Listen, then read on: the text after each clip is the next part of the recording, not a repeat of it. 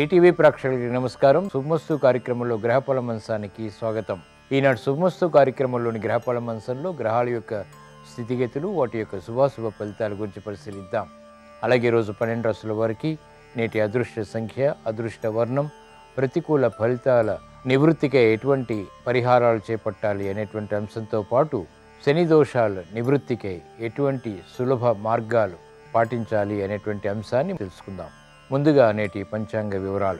శ్రీ శుభకృతు నామ సంవత్సరం ఉత్తరాయణం వసంత ఋతువు వైశాఖ మాసం. ఈరోజు తిథి శుద్ధ షష్ఠి ఉదయం పదకొండు గంటల ఎనిమిది నిమిషాల వరకు ఉంది. అనంతరం తిథి శుద్ధ సప్తమి. నక్షత్రం పునర్వసు ఉదయం తొమ్మిది గంటల ఐదు నిమిషాల వరకు అనంతరం నక్షత్రం పుష్యమి. రాహుకాలం ఉదయం తొమ్మిది గంటల నుంచి పది గంటల ముప్పై నిమిషాల వరకు. ఈరోజు శుద్ధ షష్ఠి అనంతరం సప్తమితో కూడినటువంటి శనివారం వ్యవసాయ సంబంధిత కార్యక్రమాలకి చాలా విశేషమైనటువంటి రోజు. ఇప్పుడు గ్రహాల యొక్క స్థితిగతుల రీత్యా పన్నెండు రాశుల వారికి ఏర్పడేటువంటి శుభాశుభ ఫలితాన్ని పరిశీలిద్దాం. ముందుగా మేషరాశి.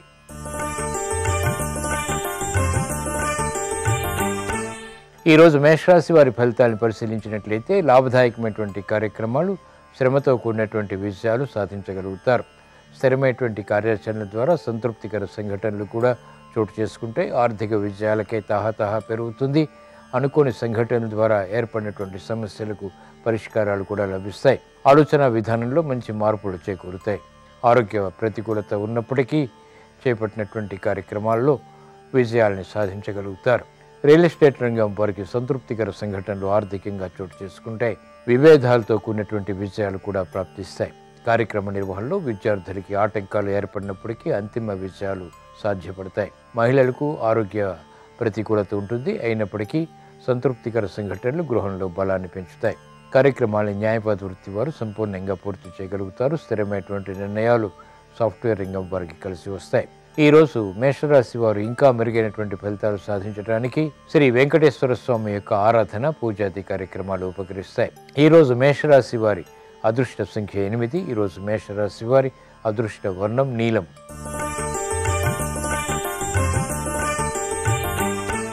ఈరోజు వృషభ రాశి వారి ఫలితాన్ని పరిశీలించినట్లయితే ఆనందకర పరిస్థితి గృహరీత్యా చోటు చేసుకుంటే ఉద్యోగ వ్యవహారాల్లో ఆకస్మిక ప్రతికూల మార్పులు కూడా చోటు చేసుకుంటాయి విభేదాలు తలెత్తుతాయి. మనస్పర్ధలు ఉన్నప్పటికీ గృహపరమైనటువంటి కార్యక్రమాల్లో మహిళలకు ప్రోత్సాహం కూడా సమాంతరంగా ఉంటుంది. విద్యార్థులకి క్రమశిక్షణ తప్పనిసరి ఏకాగ్రత తప్పనిసరి. సమస్యలు ఆకస్మికం చేపట్టినటువంటి కార్యక్రమాలపై పట్టు రియల్ ఎస్టేట్ రంగం వారు కొనసాగించగలుగుతారు. నూతన విధి విధానాలతో కూడినటువంటి కార్యక్రమ నిర్వహణ వైద్య వృత్తి వారికి కలిసి వస్తుంది. వ్యవసాయ రంగం వారికి ప్రోత్సాహకాలం ఈరోజు వృషభ రాశి వారు ఇంకా మెరుగైనటువంటి ఫలితాలు సాధించడానికి శ్రీకృష్ణ పరమాత్మ యొక్క ఆరాధన ఉపకరిస్తుంది. ఈ రోజు వృషభ రాశి వారి అదృష్ట సంఖ్య ఆరు. ఈరోజు వృషభ రాశి వారి అదృష్ట వర్ణం తెలుపు.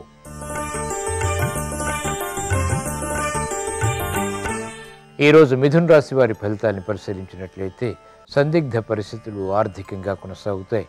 నిర్ణయాలు త్వరితగతిని తీసుకోలేకపోతారు. కార్యక్రమ నిర్వహణలో విమర్శలు ఏర్పడతాయి. ప్రత్యర్థులది పై చేయి అవుతుంది. ఆర్థిక సంబంధిత లావాదేవీల విషయంలో ఆచితూచి వ్యవహరించాలి. సంబంధ బాంధవ్యాల విషయంలో కూడా జాగ్రత్తలు పాటించాలి. ఉద్యోగ వ్యవహారాల్లో ఉద్యోగస్తులకు ఊరట లభిస్తుంది. కార్యక్రమ నిర్వహణలో నైపుణ్యం సాఫ్ట్వేర్ రంగం వారికి ఉన్నప్పటికీ ప్రతికూల ప్రభావం కూడా ఉంటుంది. చేపట్టినటువంటి కార్యక్రమాలు రియల్ ఎస్టేట్ రంగం వారికి ఆర్థికంగా ప్రతికూల అనుకూల ఫలితాన్ని కలిగిస్తుంది. విద్యార్థులకి క్రమశిక్షణ తప్పనిసరి. మహిళలు విమర్శల్ని అనుకూలంగా మరల్చుకోగలుగుతారు ఈ రోజు మిథున్ రాశి వారు గణపతిని గరికతో పూజించడం ద్వారా విఘ్నాలు జాప్యాలు వంటివి తొలగుతాయి. ఆందోళనకర పరిస్థితులు అనుకూలంగా మరచుకునేటువంటి శక్తి సామర్థ్యాలు పెంపొందింప చేసుకోగలుగుతారు ఈరోజు మిథున్ రాశి వారి అదృష్ట సంఖ్య ఐదు. ఈ రోజు మిథున్ రాశి వారి అదృష్ట వర్ణం ఆకుపచ్చ.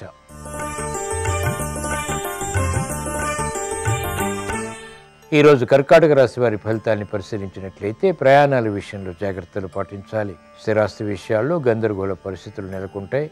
ఆకస్మిక ప్రతికూల ప్రభావం పెరుగుతుంది. గృహ విషయాల్లో పిల్లల విషయంలో అంచనాలు దగ్గరవుతాయి. చేపట్టినటువంటి కార్యక్రమాలపై ప్రోత్సాహం కూడా లభిస్తుంది. విద్యా విషయాలు విద్యార్థులకు అనుకూలిస్తాయి. విదేశీ సంబంధిత ప్రయాణాలు వంటివి ఉపకరిస్తాయి. జాగ్రత్తతో కూడినటువంటి నిర్ణయాలు రియల్ ఎస్టేట్ రంగం వారికి ఆర్థికంగా తప్పనిసరి. ఆకస్మిక నిర్ణయాల ద్వారా ఏర్పడినటువంటి ప్రతికూల ప్రభావం పెరుగుతుంది సమస్యలను కలిగిస్తుంది. చేపట్టినటువంటి కార్యక్రమాలు సాఫ్ట్వేర్ రంగం వారికి అనుకూలం స్థానచలనం వంటి ఉన్నప్పటికీ సంతృప్తికరంగా విజయాలు సాధించగలుగుతారు. ఆర్థిక విజయాలు రియల్ ఎస్టేట్ రంగం వారికి మొదట ప్రతికూలత తర్వాత అనుకూలతని కలిగిస్తాయి. సినీ రంగం వారికి ప్రతికూలత ఉంటుంది. సందిగ్ధ నిర్ణయాలు వైద్య వృత్తి వారికి కొనసాగుతాయి. న్యాయవాద వృత్తి వారికి సంకోచాలు వృత్తిపరంగా ప్రబలమవుతాయి. ఈరోజు కర్కాటక రాశి వారి అదృష్ట సంఖ్య ఎనిమిది. ఈరోజు కర్కాటక రాశి వారి అదృష్ట వర్ణం నీలం.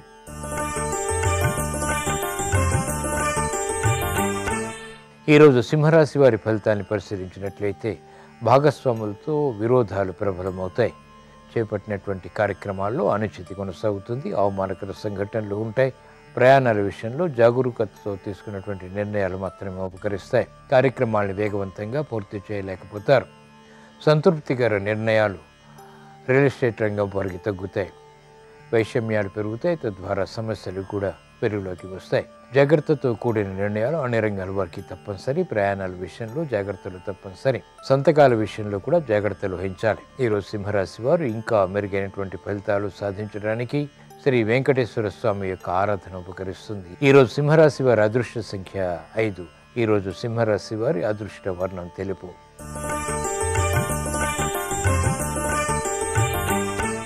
ఈరోజు కన్యారాశి వారి ఫలితాన్ని పరిశీలించినట్లయితే ఆర్థిక వ్యవహారాలు యోగిస్తాయి. సానుకూల ఫలితాలు విద్యాపరంగా కూడా ఆనందాన్ని పెంపొందింపచేస్తాయి. విద్యార్థులకి శుభ పరిణామాలు చోటు చేసుకుంటాయి. మహిళలకు గృహ ఉపయోగ కార్యక్రమాల్లో చాకచక్యం పెరుగుతుంది. చకచక కార్యక్రమాల్ని నిర్వహించగలుగుతారు. ఆసక్తికరమైనటువంటి ఆర్థిక విషయాలు వ్యాపార రంగం వారికి కలిసి వస్తాయి. సంకోచ నిర్ణయాలు న్యాయవాద వృత్తి వారికి తగ్గుతాయి. స్థిరమైనటువంటి నిర్ణయాల ద్వారా విజయ ప్రాప్తి చేకూరుతుంది. వ్యవసాయ రంగం వారికి అత్యంత అనుకూలం. ఈరోజు కన్యారాశి వారు ఇంకా మెరుగైనటువంటి ఫలితాలు సాధించడానికి శ్రీ ఆంజనేయ స్వామి యొక్క ఆరాధన పూజాది కార్యక్రమాలు ఉపకరిస్తాయి. ఈరోజు కన్యారాశి వారి అదృష్ట సంఖ్య ఎనిమిది. ఈరోజు కన్యారాశి వారి అదృష్ట వర్ణం నీలం.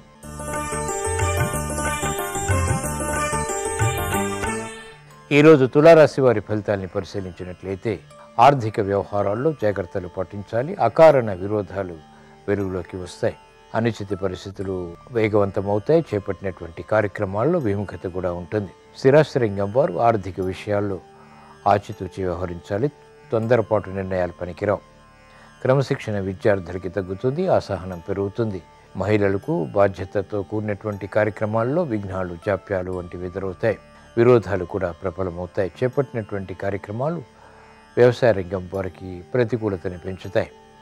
ఆర్థిక వ్యవహారాల్లో అలచడి ఉంటుంది. ఈరోజు తులారాశి వారు ఇంకా మెరుగైనటువంటి ఫలితాలు సాధించడానికి శ్రీ సుబ్రహ్మణ్య స్వామి యొక్క ఆరాధన ఉపకరిస్తుంది. ఈరోజు తులారాశి వారి అదృష్ట సంఖ్య ఎనిమిది. ఈరోజు తులారాశి వారి అదృష్ట వర్ణం నీలం.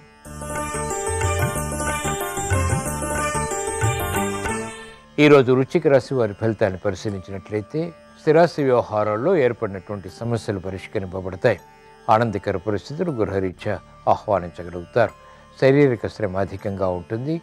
చేపట్టినటువంటి కార్యక్రమాలని మళ్ళీ మళ్ళీ చేయాల్సినటువంటి ఆవశ్యకత ఉంటుంది. వేగవంతమైనటువంటి నిర్ణయాల ద్వారా కూడా విజయాలు సాధించగలుగుతారు. స్థిరాస్తి వ్యవహారాలు అనుకూలిస్తాయి. చేపట్టినటువంటి కార్యక్రమాలపై శ్రద్ధ పెంపొందింప చేసుకోగలుగుతారు మహిళలకు గృహోపయోగ కార్యక్రమాల్లో చాకచక్యం పెరుగుతుంది. చకచక కార్యక్రమాలు నిర్వహించగలుగుతారు. శుభవార్తలు వింటారు. చేపట్టినటువంటి కార్యక్రమాలు స్థిరాస్తి రంగం వారికి కూడా కలిసి వస్తాయి. ఆలోచన సంపత్తి సాఫ్ట్వేర్ రంగం వారికి పెరుగుతుంది. వివేకంతో కూడినటువంటి కార్యక్రమ నిర్వహణ కళారంగం వారికి ప్రోత్సాహాన్ని పెంచుతుంది. ఈరోజు వృశ్చిక రాశి వారు ఇంకా మెరుగైనటువంటి ఫలితాలు సాధించడానికి ఈశ్వర స్మరణ ఈశ్వరాభిషేకం ఉపకరిస్తాయి. ఈరోజు వృశ్చిక రాశి వారి అదృష్ట సంఖ్య రెండు ఈరోజు వృశ్చిక రాశి వారి అదృష్ట వర్ణం తెలుపు.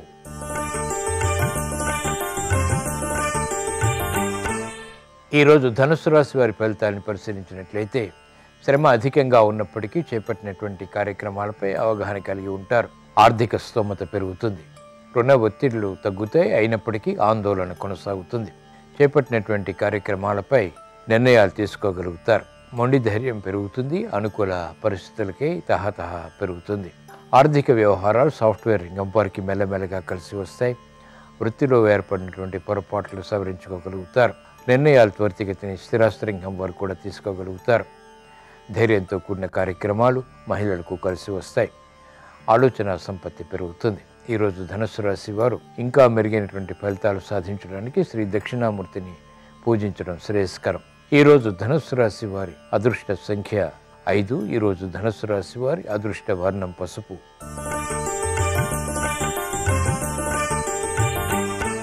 ఈరోజు మకర రాశి వారి ఫలితాలను పరిశీలించినట్లయితే శ్రమ అధికమవుతుంది చేపట్టినటువంటి కార్యక్రమాల్లో విముఖత కొనసాగుతుంది ఆర్థిక వ్యవహారాల్లో సమస్యలు వెలుగులోకి వస్తాయి. నిర్ణయాలు త్వరితగతిని తీసుకోలేకపోతారు స్థిరమైనటువంటి కార్యాచరణ కొనసాగించలేకపోతారు. చపలత్వం పెరుగుతుంది స్థిరత్వం తగ్గుతుంది. విద్యార్థులకి మందత్వం పెరుగుతుంది చేపట్టినటువంటి కార్యక్రమాలపై అవగాహన కూడా తగ్గుతుంది. శ్రమను మహిళలు అధిగమించలేకపోతారు ఆరోగ్య విషయంలో కూడా జాగ్రత్తలు పాటించాలి సంభాషణల విషయంలో కూడా జాగ్రత్తలు తప్పనిసరి. ఆందోళనకర పరిస్థితులు సాఫ్ట్వేర్ రంగం వారు నియంత్రించలేకపోతారు. చేపట్టినటువంటి కార్యక్రమాలపై అవగాహన స్థిరాస్తి రంగం వారికి లోపిస్తుంది. వ్యవసాయ రంగం వారికి శ్రమ అధికమవుతుంది. ఖర్చులు కిరిబికిరి చేస్తాయి. ఈరోజు మకర రాశి వారు ఇంకా మెరుగైనటువంటి ఫలితాలు సాధించడానికి శ్రీ వెంకటేశ్వర స్వామి ఆరాధన ఉపకరిస్తుంది. ఈరోజు మకర రాశి వారి అదృష్ట సంఖ్య ఎనిమిది. ఈరోజు మకర రాశి వారి అదృష్ట వర్ణం నీలం.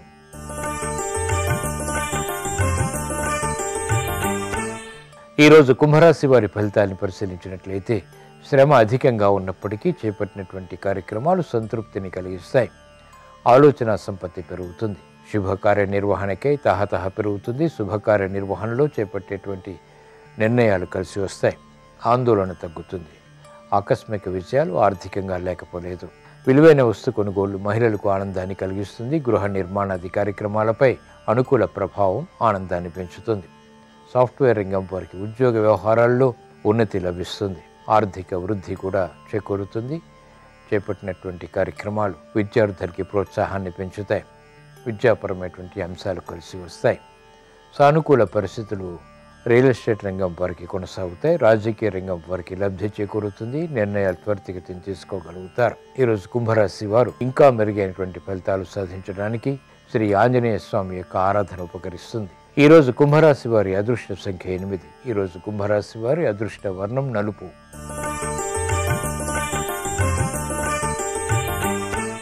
ఈరోజు మీనరాశి వారి ఫలితాన్ని పరిశీలించినట్లయితే సందిగ్ధ పరిస్థితులు ఆర్థికంగా కొనసాగుతాయి నిర్ణయాలు త్వరితగతిని తీసుకోలేకపోతారు.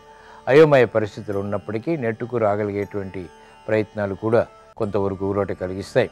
శ్రమ అధికమవుతుంది. చేపట్టినటువంటి కార్యక్రమాల్లో విముఖత ఉంటుంది. గతంలో వేగవంతంగా చేసినటువంటి కార్యక్రమాలు ఇప్పుడు నత్తనడకగా కొనసాగుతాయి. ఆర్థిక వ్యవహారాల్లో ఆచితూచి వ్యవహరించాలి. సంబంధ బాంధవ్యాల విషయంలో కూడా ప్రతికూల ప్రభావం పెరుగుతుంది. నమ్మిన వారి నుంచి ప్రతికూల ప్రభావం ఏర్పడేటువంటి సంఘటనలు విస్మయాల్ని కలిగిస్తాయి. ఆందోళనకు కూడా గురి చేస్తాయి. ఆర్థిక సంబంధిత లావాదేవీల విషయంలో రియల్ ఎస్టేట్ వారు జాగ్రత్తలు పాటించాలి. పెట్టుబడుల విషయంలో ముఖ్యంగా ఆందోళన పెరుగుతుంది. కార్యక్రమ నిర్వహణలో నైపుణ్యం సాఫ్ట్వేర్ రంగం వారికి తగ్గుతుంది.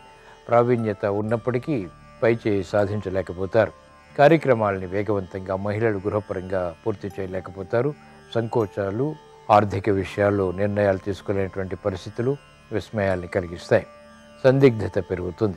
కార్యక్రమ నిర్వహణలో విద్యార్థులకి శ్రమ అధికమవుతుంది. చేపట్టినటువంటి కార్యక్రమాలపై అవగాహన లోపిస్తుంది. ఏకాగ్రత తగ్గుతుంది. నూతన నిర్ణయాలు వైద్య వృత్తి వారికి కొంతవరకు మేలు చేసినప్పటికీ ప్రతికూల ప్రభావాన్ని కూడా పెంచుతాయి. న్యాయవాద వృత్తి వారు వృత్తిపరమైనటువంటి వ్యవహారాల్లో ఆచితూచి వ్యవహరించాలి దూకుడు స్వభావం పనికిరాదు. ఈరోజు మీనరాశి వారు ఇంకా మెరుగైనటువంటి ఫలితాలు పొందటానికి శ్రీ గణపతి యొక్క ఆరాధన ఉపకరిస్తుంది.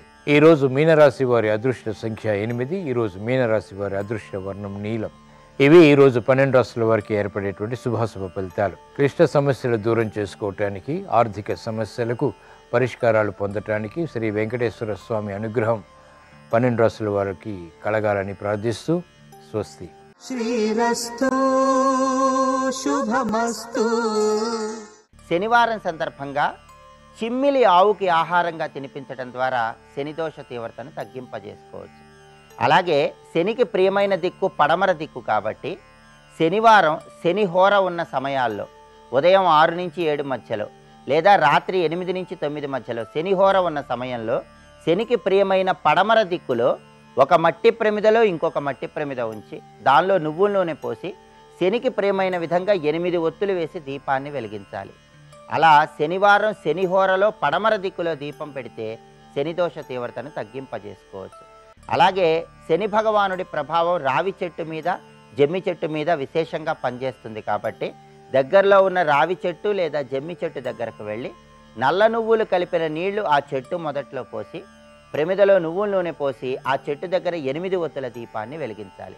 ఆర్థిక ఇబ్బందులు ఎక్కువగా ఉన్న వాళ్ళు ఎవరైనా సరే శనివారం రోజు పాలల్లో బెల్లం ముక్క కలిపి ఆ బెల్లం ముక్క కలిపిన పాలు రావి చెట్టు మొదట్లో పోసి తడిసిన ఆ మట్టిని నుదుటన బొట్టులాగా ధరించినట్లయితే ఆర్థిక ఇబ్బందుల నుంచి బయటపడచ్చు శని దోష తీవ్రతను తగ్గింపజేసుకోవచ్చు.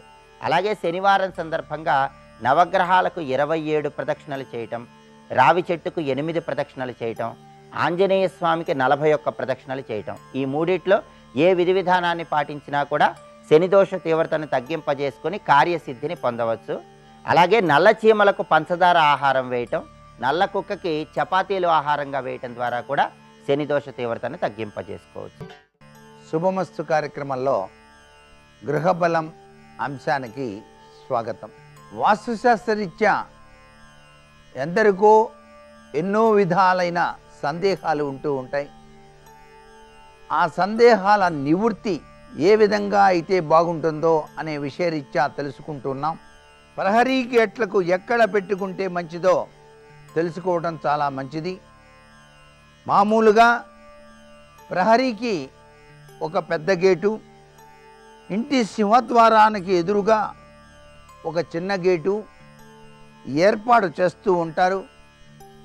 ప్రహరీలకు గేట్లు నిర్మించుకునే విషయంలో కూడా ఉచ్చ నీచాలు అనేటువంటివి పాటించాలి.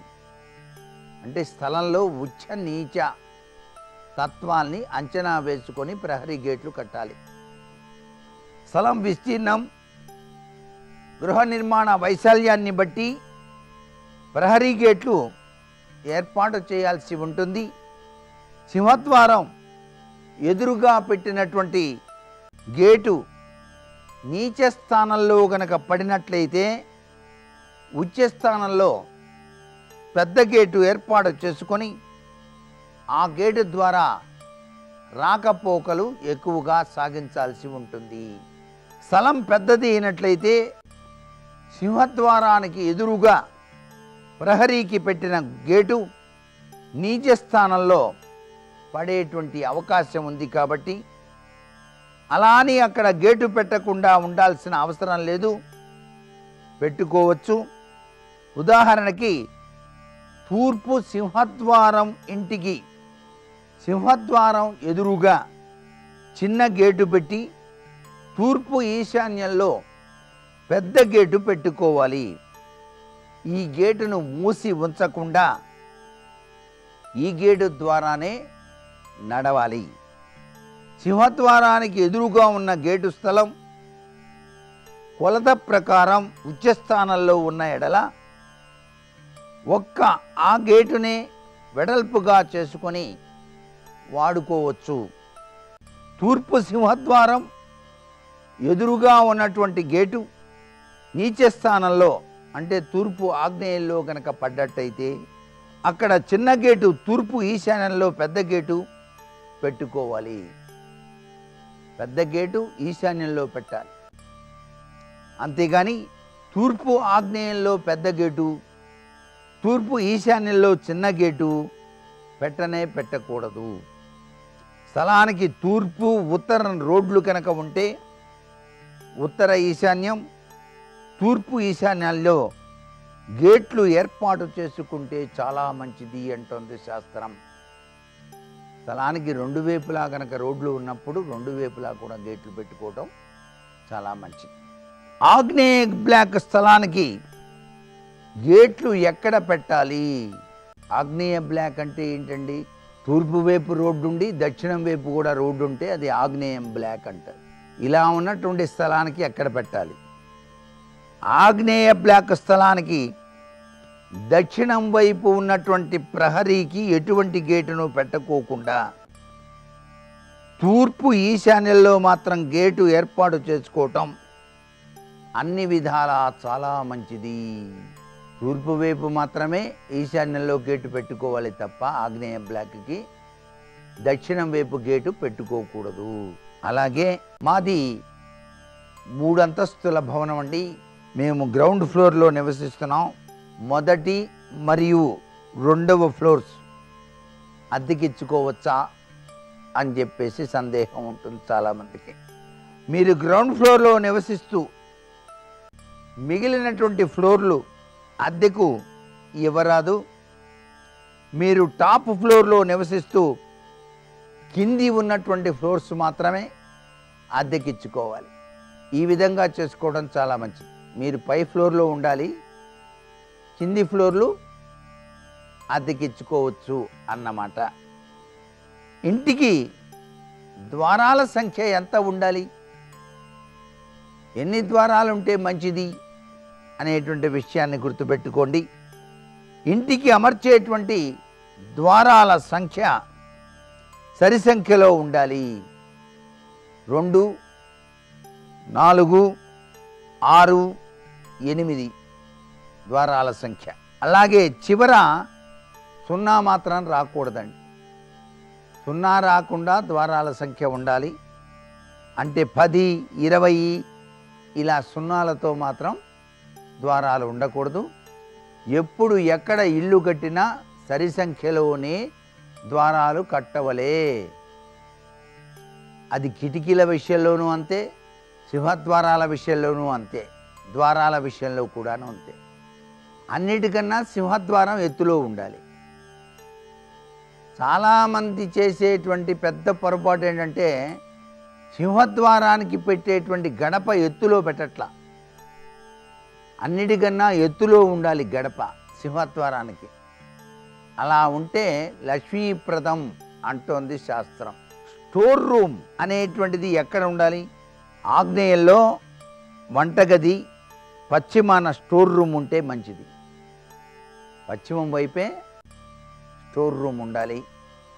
అలా ఉంచుకోవటం కూడా వాస్తుశాస్త్రరీత్యా చాలా మంచిది. ఆగ్నేయం వాయువ్యాలలో ఎత్తు పల్లాలు ఏ విధంగా ఉంటే మంచిది? ఆగ్నేయం కన్నా వాయువ్యం మెరకగా ఉండకూడదు. ముఖ్యంగా నైరుతి మెరకగా ఉండాలి. నైరుతి కన్నా ఆగ్నేయ వాయువ్య ఈశాన్యాలు మెరకగా ఉండకూడదు అనేటువంటి విషయం గుర్తుపెట్టుకోండి. మొత్తం మీద చూస్తే నైరుతియే మెరకగా ఉండాలి.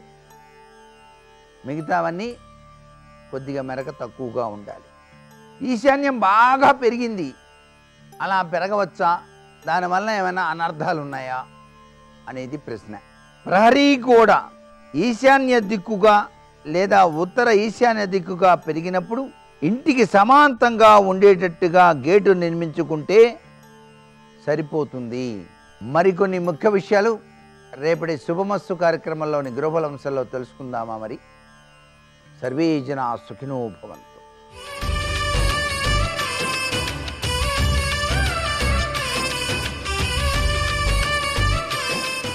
శుభోదయం. శుభమస్తు కార్యక్రమంలో ఆనంద యోగం అనే అంశానికి స్వాగతం.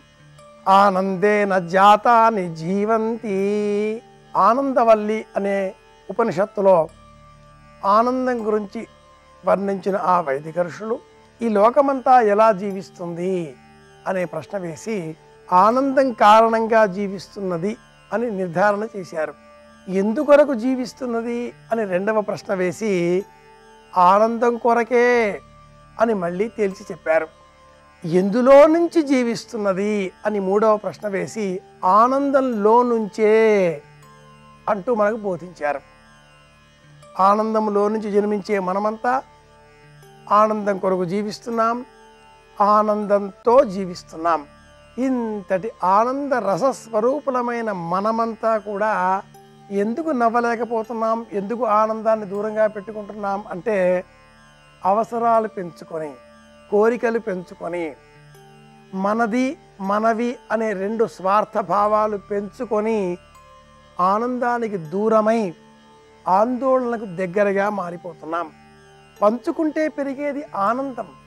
ఆనందం అంటే కొద్దిపాటి ప్రసాదం స్వీకరించినా కలిగే భావన.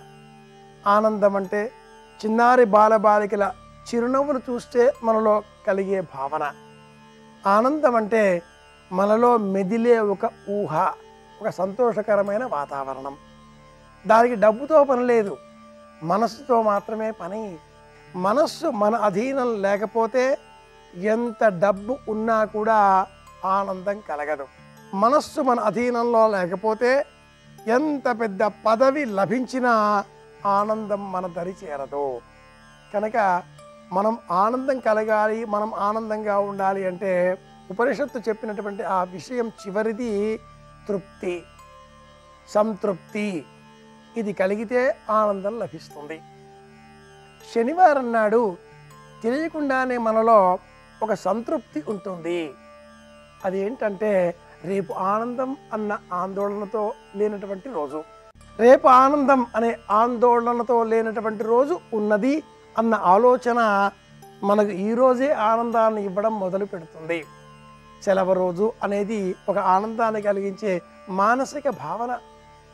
వారంలో శనివారాధిపతి శనైశ్చరుడు. శనై చరతీతి. నెమ్మదిగా ప్రయాణించేటటువంటి గ్రహానికి ఉండేటటువంటి గుర్తింపు ఆ పేరు. ఏ పని అయినా కూడా నెమ్మదిగా తొందరపాటు లేకుండా నింపాదిగా కలిగించే గ్రహం శనిగ్రహం. అలాంటి శనిగ్రహం కూడా ఆనందాన్ని అందించే మధుర క్షణాలలో తన మందగొడితనం పక్కన పెట్టి అత్యంత వేగంగా ప్రయాణిస్తాడు. అందు నిమిత్తమై ఆనందాన్ని శాశ్వతంగా పొందే నిమిత్తమై వైశాఖ మాసంలోని శనివారాలలో మనం పాటించవలసిన విధులు ధర్మాలు కొన్ని ఉన్నాయి. వైశాఖ మాసంలోని శనివారం నాడు కొన్ని ప్రత్యేకమైనటువంటి అపురూప విధులను మనం పాటిస్తే తప్పక మనకు క్షేమం కలుగుతుంది. ఈ రోజున మల్లెపూలతో శివారాధన చెయ్యాలి. శనివారం నాడు మల్లె పువ్వులతో శివారాధన చేస్తే శనిగ్రహ సంబంధిత దోషాలు తొలగిపోతాయి. శనై చరతీతి అని అనుకున్నాం కనుక మనలో ఉండేటటువంటి మందకొడితనం బద్ధకం అసూయ కక్ష కార్పణ్యం దుఃఖం విద్వేషం నిరాశ నిస్పృహ ఈ తొమ్మిది భావాలు కూడా మనకు దూరంగా ఉంచేటటువంటి పరమదైవం పరమేశ్వరుడు. ఈశ్వరునికి ప్రీతికరంగా సమర్పించేటటువంటి అనేక విధములుగా ఉండే పుష్పాలలో వైశాఖ మాసంలో తప్పనిసరిగా సమర్పించవలసిన పుష్పములు మల్లెలు. అవి కూడా శనివారం నాడు సమర్పించాలి అంటుంది తంత్రశాస్త్రం. పరమేశ్వర ఆరాధనలో మనం ప్రవర్తించేటటువంటి క్రమంలో సమర్పించేటటువంటి పుష్పజాతులలో అనేకమును మనం వినియోగిస్తూ ఉంటాం. సమస్త పుష్పాలను అంగీకరించేటటువంటి పరమేశ్వరుడు మల్లెలను కూడా స్వీకరిస్తాడు. మల్లికార్జునుడిగా మనల్ని దీవిస్తాడు. అలాంటి స్వామికి ప్రీతికరంగా శనివారం నాడు సమర్పించాలి. శనికి సంబంధించిన వర్ణం నీలం. శనికి సంబంధించిన తైలం నువ్వుల నూనె. శనికి సంబంధించినటువంటి ఖనిజం ఇనుప వస్తువు శనికి సంబంధించినటువంటి అపురూపమైనటువంటి ఫలం నలుపు రంగులో ఉండేటటువంటి ద్రాక్ష ఖర్జూరములు ఇలా ఉండగా తెలుపు రంగులో ఉండేటటువంటి మల్లెలతో అభిషేకం చేసిన మల్లెపూల మాలికలతో శివాలంకరణ చేసిన మల్లెపూల నూనెతో చమేలి తైలం అంటాం. మల్లెల తైలంతో పరమేశ్వర అభిషేకం ఈరోజు నిర్వహించిన అలాంటి వారందరికీ కూడా సమస్తమైన సంకల్పాలు నెరవేరుతాయి అంటుంది పరిహార విజ్ఞాన శాస్త్రం. సామాన్యంగా వివాహాలు కావాలి అనే తరుణంలో మాఘం పాల్గుణం చైత్రం వైశాఖం జ్యేష్టం ఈ ఐదు నెలల కాలమే వివాహాలకు శ్రేష్టం. ఇందులో ప్రత్యేకంగా ఈ శుభకృతనామ సంవత్సరంలో రాబోయేటటువంటి శ్రావణ మాసం అలాగే ఆశ్వీజ మాసం ఈ మాసాలలో అంతగా చెప్పుకోదగిన స్థాయిలో శుభముహూర్తాలు లేవు. పైగా ఆశ్వీజ మాసమంతా కూడా గురుమూఢం ఉన్న కారణం చేత ఆగస్టు ఇరవై మూడవ తేదీతో మంచి ముహూర్తాలు అంతమై తిరిగి రెండు వేల ఇరవై మూడు డిసెంబర్ నాలుగవ తేదీ వరకు కూడా శుభముహూర్తాలు వివాహాలు లేని కారణం చేత ఉన్న శుభముహూర్తాలు ఏవైనా ఈ ఏప్రిల్ నెలలోనే మే జూన్ నెలలలోనే అనే ఆలోచనలు పెద్దలు చేస్తుంటారు. ఈ క్రమంలో వివాహాలలో అబ్బాయి పెద్దవాడు అమ్మాయి పెద్ద కుమార్తె అయిన పక్షంలో జ్యేష్ఠుడు జ్యేష్ఠురాలు అవుతారు కనుక వారిద్దరికీ జ్యేష్ఠ మాసంలో వివాహం చేయరాదు త్రిజ్యేష్ఠ అవుతుంది. అలాంటప్పుడు వైశాఖ మాసమే వివాహాలకు చెప్పదగ్గ మాసం అవుతుంది. వివాహం ఆలస్యం అవుతుంది లేక జాతకంలో అనేక వివాహ సంబంధిత సప్తమ భావానికి సంబంధించిన దోషాలతో నిండి ఉన్న కారణం చేత ఏదో ఒక విధంగా వివాహం అనుకూలించింది. సుముహూర్తం సిద్ధమైంది. కానీ మనసులో ఏదో ఆందోళన అనే ఊహ కలవారంతా కూడా ఈ వైశాఖ మాసంలోని శనివారాలలో శివాలయంలో శివ దర్శనం చేసి ఈశ్వరునికి ప్రీతికరంగా మల్లెపూల మాలికలను సమర్పించాలి అంటుంది ఈ పురాణ వైదిక సంబంధిత పరిహార విజ్ఞాన శాస్త్రం. మల్లెపూల మొక్కను ఈ రోజున బహుమతిగా అందించిన శివాలయంలో జాజి విరజాజి మల్లె ఆ జాతులలో ఏ పుష్ప జాతినైనా కూడా మొక్కను సేకరించి పాదుగా చక్కగా నాటి పెంచి పోషించే ప్రయత్నం చేసినా కూడా శివానుగ్రహం లభిస్తుంది అని కూడా తెలియజేస్తుంది పరిహార విజ్ఞాన శాస్త్రం. వివాహాలకు మల్లెలకు సంబంధం ఉంది. మాఘాది పంచకాలలో విరివిగా లభించేటటువంటి పుష్పజాతి మల్లెలు మాత్రమే. వసంత ఋతువులో మామిడి పండు ఎంతగా లభిస్తుందో మల్లెలు కూడా అంతగా లభిస్తాయి. వివాహం ఆలస్యం కావడం అనేటటువంటి ఇబ్బంది కలవారు మల్లెపూల మాలికలతో అలంకరిస్తే ఎంత ప్రయోజనం పొందుతారో అదేవిధంగా దీర్ఘకాలిక వ్యాధుల బారిన పడి శారీరక మానసిక బాధలతో ఒత్తిడికి గురి అయి మనోవ్యతను శారీరక బాధలు అనుభవించే వారంతా కూడా ఈ వైశాఖ మాసంలోని శనివారాలలో మామిడి పండు రసంతో శివాభిషేకం నిర్వహించాలి. అందువలన చక్కగా ఐశ్వర్యం ఆనందం వారి లభిస్తుంది. ప్రత్యేకంగా మరింత విశేషంగా ఏవైనా చెప్పుకోదగిన పేర్లతో కూడుకుని ఉన్నటువంటి దీర్ఘకాలిక వ్యాధుల బారిన ఉన్నటువంటి వారు మరింత ప్రత్యేకంగా చెమేలి ఆయిల్ అన్న పేరిట లభించేటటువంటి మల్లెపూల నూనెతో శివాభిషేకం చేస్తే అలాంటి వారికి ఆ వ్యాధుల బారి నుంచి కొంత ఉపశమనం లభిస్తుంది అని కూడా పరిహార విజ్ఞాన శాస్త్రం తెలియజేస్తుంది. శనివారాలు మనలో ఉండేటటువంటి మందుకొడితనానికి కాస్త విరామాన్ని అందించి రేపు ఆదివారం ఆనందం అనే ఉత్సాహ సంకేతాలను అందించే వారం. అలాగే ఈ వారాధిపతి శనైశ్చరుడు సమస్తమైనటువంటి కార్యకలాపాలను నింపాదిగా నెమ్మదితనంగా వాయిదా పద్ధతులలో పాటించేటటువంటి అవలక్షణాలను మనకు అందించేటటువంటి దైవం. అలాంటి తరుణంలో అవలక్షణాలు తొలగించి సులక్షణాలతో మనకు సమస్తమైన మంగళకరములైన శుభకరములైన కార్యక్రమాలలో సహకారాన్ని తోడ్పాటును అందించేటటువంటి పరమదైవం మహేశ్వరుడు. మామిడి పండుగ ఉండేటటువంటి సంస్కృత నామాలలో ఒక నామం సహకారం.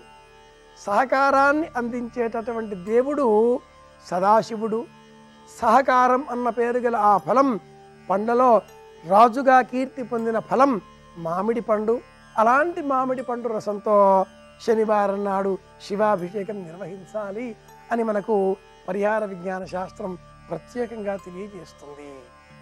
విశేషంగా ఈ రోజున రెండు నాలుగు ఆరు ఎనిమిది ఈ సంఖ్యలో మామిడి పండ్లను అర్హులైన వారికి దానంగా అందించాలి. శివాలయంలో ఇంటిలో వీలు కుదిరిన చోట రెండు నాలుగు ఈ సంఖ్యలో మామిడి మొక్కలను నాటి సంరక్షణ చేసే పని చెయ్యాలి. ఇంటిలో పెండ్లి కావాలి వివాహం జరగాలి ప్రధాన ద్వారానికి మామిడి కొమ్మలు కడతాం. ఇంటిలో చక్కగా శుభముహూర్తం సూచించే విధంగా ప్రతిష్టాధికారులతో కూడుకున్న విధానాలలో కలశ స్థాపన చేసే విధంగా అర్చన చేస్తాం. మామిడి కొమ్మలని అందులో అలంకారంగా పెడతాం. చేతికి రక్ష కట్టుకోవాలి. దారానికి మామిడి ఆకు కడతాం. కనుక మామిడి కొమ్మ శుభలక్షణం. మామిడి మొక్కలు కళ్యాణం ఆలస్యం కావడం అనే దోషాన్ని తొలగిస్తాయి. మామిడి మొక్కలు నాటుదాం. మహేశ్వర అనుగ్రహం పొందుదాం. మరింత ఆనందంగా మళ్ళీ రేపు కలుసుకుందాం. శుభమస్తు.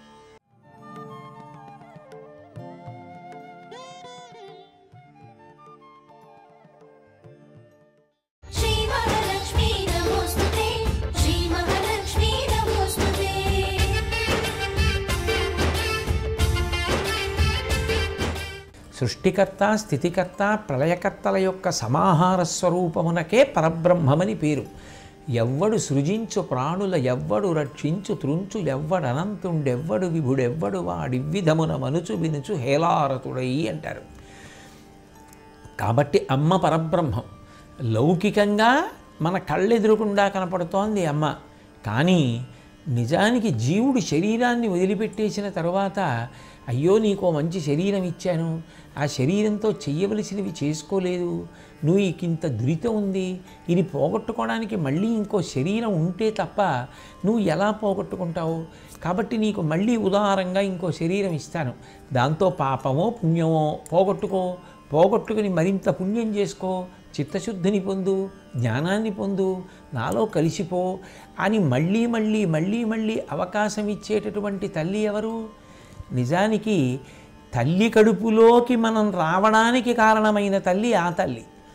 రెండు ఒక మొగ్గ ఉందనుకోండి అందులో సువాసన లేదు పసరిక వాసన ఉంటుంది. కానీ అది పువ్వు అయ్యేటప్పటికీ అందులోంచి సువాసన వచ్చింది.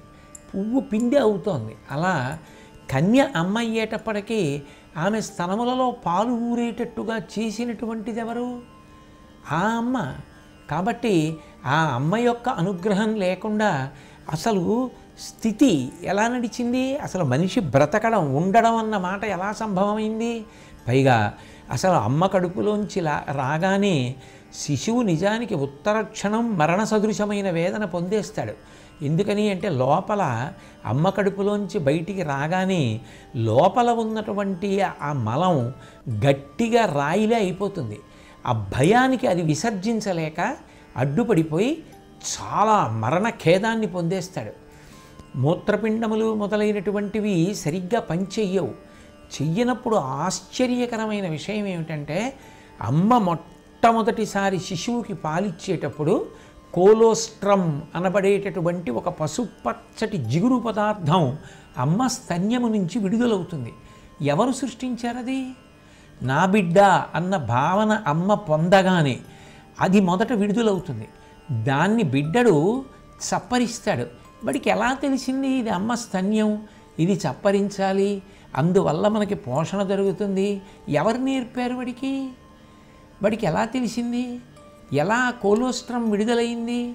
అది వాడు చప్పరించి మింగగానే లోపల ఉన్నటువంటి మలం మెత్తపడిపోయి విసర్జింపబడుతుంది. ఊపిరితిత్తులు మూత్రపిండాలు అన్నీ పనిచేయడం మొదలెడతాయి. వాడు బ్రతుకుతాడు. అంటే అమృతాన్ని అమ్మ అమ్మలోంచి స్రవింపచేసి కాపాడుతోంది. కాపాడడం స్థితికర్త లక్షణం కాదు. అయినప్పుడు అమ్మలో ఇది ప్రవేశపెట్టి కాపాడుతున్నది ఎవరు? అమ్మలకు అమ్మయైన ఆ అమ్మ. కాబట్టి ఆ లక్ష్మీదేవి స్థితికర్త. ఆమెయే ప్రళయకర్త. అమ్మ ఎంత జోకొట్టినా బడలిపోతే పిల్లవాడు ఏడిచి ఏడిచి పడుకున్నా అంతవరకు ఎందుకు పిల్లవాడికి ఒంటి నిండా తీసుకొచ్చి ఆ ఒంటి నిండా వాడికి ఏ విధమైనటువంటి సూక్ష్మక్రిములు పట్టకుండా ఉండడం కోసం సున్నిపిండి రాసి బాగా అలది నలుగు పెట్టి తలస్నానం చేయించేసి ఒళ్ళు తుడిచి సాంబ్రాణి వేసి పడుకోబెట్టేసింది అనుకోండి అమ్మ స్నానం చేసినందుకు బడలిపోయి వాడు నిద్రైపోతాడు. ఇంకా అమ్మవాడికి కాటుక పెట్టి దిష్టి చుక్క పెట్టి బొట్టు పెట్టి చేస్తూ ఉంటుంది వాడికి కళ్ళు పడిపోయి నిద్రపోతాడు. అసలు ఆ నిద్ర ఇచ్చి బడలిక తీర్చింది ఎవరు? ఆ నిద్ర ఇవ్వలేదనుకోండి పసిపిల్లకు వదిలేయండి మనకి. పరుపు వేసుకోగలమేమో మంచం వేసుకోగలమేమో దోమలు కుట్టకుండా ఏమైనా ఏర్పాటు చేసుకోగలమేమో బయట వేడిగా ఉంటే డబ్బులు ఉంటే చల్లగా ఉండేటట్టు చేసుకోగలమేమో గాలి ఇకపోతే గాలి ఇచ్చేటట్టుగా వ్యవస్థ చేసుకోగలమేమో కానీ నిద్ర పట్టించుకోగలమా? నిద్ర రావాలంటే ఆవిడ అనుగ్రహం. ఆవిడ అనుగ్రహం కలిగితే నిద్రపడుతోంది. కాబట్టి అసలు జీవులన్నీ నిలబడడానికి కారణం ఎవరైంది? ఆవిడే తల్లిగా ఎప్పటికీ పసిబిడ్డలను చేసి లాలిస్తున్నటువంటి తల్లి ఎవరు ఆ తల్లే. అయినప్పుడు నిజంగా ఆవిడ కాకపోతే లోకమాత ఇంకెవరు? లౌకికంగా కళ్ళ ముందు ఆవిడ ప్రతినిధిగా అమ్మ కనపడుతోంది. నిజానికి కనపడకపోయినా అమ్మలోంచి అమ్మతనాన్ని నింపి ఇవన్నీ చేస్తున్న తల్లి అన్ని ప్రాణులకు చేస్తోంది. ఏదో మనుష్యులకు కాదు సమస్త ప్రాణులకు పిల్లి కానివ్వండి కుక్క కానివ్వండి పంది కానివ్వండి ఎవరు కానివ్వండి. అసలు ఆ పోషణ సృష్టి ఆ లయ కర్మని క్షయం చేయించడం ఇవన్నీ చేస్తున్న తల్లి ఎంత దయలేకపోతే చేసుకొస్తోంది ఇవన్నీ. కాబట్టి ఆమె లోకమాత అందుకే ఆవిడ్ని ఆ బ్రహ్మకీట జనని అని ప్రస్తుతి చేశారు. అమ్మా నువ్వు కేవలం మనుష్యులకు కాదు బ్రహ్మగారి దగ్గర నుంచి కీటకం వరకు నువ్వే తల్లివి. ఎందుకని? చతుర్ముఖ బ్రహ్మగారు ఎక్కడి నుంచి వచ్చాడు? పద్మనాభ ప్రియాయై నమ అని నామం ఉంది కదూ ఆవిడ కుమారుడే. సృష్టికర్త అయిన బ్రహ్మగారు ఆవిడ కొడుకే. సృష్టి ఆమె ఆమె బిడ్డలే ఆమె నుండే వచ్చింది. కాబట్టి లోకమునకంతటికీ తల్లి ఎవరు? ఆ తల్లియే. అటువంటి తల్లి అది కూడా ఆవిడకున్న గొప్పతనం ఏమిటి? అమ్మ ప్రేమ. ప్రేమ అన్న మాటకి కామము అన్న మాటకి పెద్ద వ్యత్యాసం ఉంటుంది. ప్రేమ ప్రతిఫలాన్ని కోరదు. ప్రేమ అవతల వారి నుంచి నాకు ఇది కావాలని కోరుకోదు. కామము అలా కాదు. వారు నావారు కావాలనో అది నాదైపోవాలనో అందులో ఉన్న అందమో చందమో విభూతో వైభవమో ఐశ్వర్యమో అధికారమో ఏదో నాది కావాలనో కోరికుంటుంది. అందుకే రాయిలా గట్టిపడితే కామం పంచదారలా కరిగిపోతే ప్రేమ. ప్రేమ ఏ విధమైనటువంటి ప్రతిఫలాన్ని కోరదు. అందుకే తల్లిది ప్రేమ తండ్రిది ప్రేమ గురువుది ప్రేమ అవి ప్రేమ భాతృప్రేమ. అంతేకాని అవతల వారి వైపు నుంచి తనకి ఏదో ఒక ప్రయోజనం కలగాలని యువతల వారు అవతల వారికి చేసినటువంటి సేవని ప్రేమ అని పిలవరు కామము అని పిలుస్తారు. కాబట్టి ప్రేమ కరిగిపోతుంది. అటువంటి కరిగిపోయే లక్షణం. ఆవిడ మన నుంచి నిజానికి ఏం కోరింది? మనం ఆవిడికి ఏమైనా ఇచ్చాము అంటే ఆవిడ సృష్టిలోది పట్టుకెళ్ళి ఆవిడకి ఇస్తున్నాం. అంతేగాని కొత్తగా మనం సృష్టించేది ఏమైనా ఉందా? ఒక్క పువ్వు కొత్తగా మనం సృష్టిస్తామా? ఓ ఆకు సృష్టిస్తామా? ఓ కాయో పండో సృష్టిస్తామా? భౌతికంగా ఏ పదార్థమైనా సృష్టిస్తామా? అవన్నీ ఆవిడ సృష్టించినవి. ఆవిడ సృష్టించినవి ఆవిడికి ఇస్తున్నాం. వసుధా సమస్త ఐశ్వర్యం ఆవిడిస్తోంది. ఆవిడిచ్చింది పట్టుకెళ్ళి ప్రేమతో ఆవిడికి ఇస్తున్నాం. అంత మాత్రం చేత ఆవిడ సంతోషపడిపోతోంది. ఈ గుణం ఎవరిది? అమ్మది. అమ్మతో కలిసి కొడుకుని అమ్మ నేను వస్తాను నేను వస్తానని వెంటపడి ఏదో ఓ రెండు వీధుల అవతల ఆవిడ అన్నగారు ఉంటే అన్నగారిని చూడడానికి వెళ్ళింది. ఆ వస్తున్నప్పుడు ఆ పక్కన ఉన్నటువంటి దుకాణంలో మిగలముక్కిన అరటిపళ్ళు కనపడ్డాయి. అమ్మ అరటిపళ్ళు అమ్మ అరటిపళ్ళు అమ్మ అరటిపళ్ళు అని వెంటపడ్డాడు. వెంటపడితే అమ్మ వాడి కోసమని చెప్పి ఏదో ఒక ఆరో పన్నెండో అరటిపళ్ళు కొని ఇంటికి తీసుకొచ్చింది. తీసుకొచ్చిన తర్వాత సంచిలోంచి ఆ అరటిపండు తీసి జాగ్రత్తగా తొక్క తీసి తినరా అని చేతిలో పెట్టింది. వాడు తినడం మానేసి అమ్మ ముందు నువ్వు తిను ముందు నువ్వు తిను ముందు నువ్వు తిను అని అమ్మ దగ్గరికి ఇచ్చాడు. పర్వాలేదురా అడిగావు కదా నీకోసమే కొన్నాను తినంది అమ్మ కాదమ్మా నువ్వు కొంచెం కొరికి నువ్వు కొంచెం కొరికి ఇయ్యి అన్నాడు. అమ్మ వాడు అలాగే పట్టుకుని ఉండగా చిన్న ముక్క కొరికింది. అప్పుడు వాడు పక్కకి వెళ్ళిపోయి సంతోషంగా నవ్వుకుంటూ అరటిపండు తినేస్తున్నాడు. అమ్మ ఇది జ్ఞాపకాన్ని పెట్టుకుంటుంది. జ్ఞాపకం పెట్టుకొని సాయంకాలం భర్తగారింటికి ఇంటికి రాగానే ఏమండి మీకు ఒక విషయం చెప్పనా? వాడికి అరటిపండు కొనిపెట్టాను తినమన్నాను అమ్మ నువ్వు చిన్న ముక్క కొరుక్కో చిన్న ముక్క కొరుక్కో అని నా వెంటపడి నేను ఒక ముక్క కొరుక్కున్నాక వాడు తిన్నాడండి. వాడికి ఎంత ప్రేమో చూసారా మన జీవితాలు భద్రం అంటుంది. నిజానికి అరటిపండు వాడు కొన్నాడా? వాడు ఏమైనా అరటిపండు సృష్టించాడా? అరటిపండు వాడమ్మకి తెచ్చి తెచ్చిచ్చాడా? ఏమీ లేదు. అమ్మ ఇచ్చిన అరటిపండు అమ్మకే పెట్టాడు ఓ ముక్క కొరుక్కోమని. ఓ ముక్క అమ్మ కొరుక్కుంటే మిగిలిన ముక్క తింటే ఆవిడంతా పొంగిపోయింది. లౌకికమైన అమ్మకే అంత ప్రేమ ఉంటే ఇన్ని సృష్టించి మనకిచ్చిన అమ్మ మనం అది అమ్మకి చూపించి తింటే చాలు నివేదన చేసి తింటే ప్రసాదంగా ఆవిడెంత పొంగిపోతుంది? సౌభాగ్య అమ్మా సౌభాగ్య లక్ష్మీరావమ్మ